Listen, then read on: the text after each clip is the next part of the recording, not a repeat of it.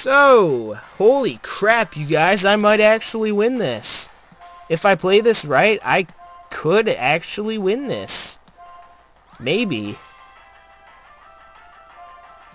Good thing Deoxys has a physical attack, because I just lowered its attack by a lot. Conceivably, though, I could still very well lose this. It is possible for me to still lose this fight. And I hate you. I hate you, Audino. You suck.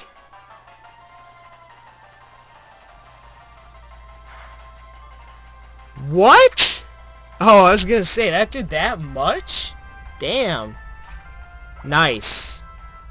What do you know? I actually won one. And not with a totally stacked team either. Huh. Well, I'm actually shocked. Never would have expected this team to actually win one.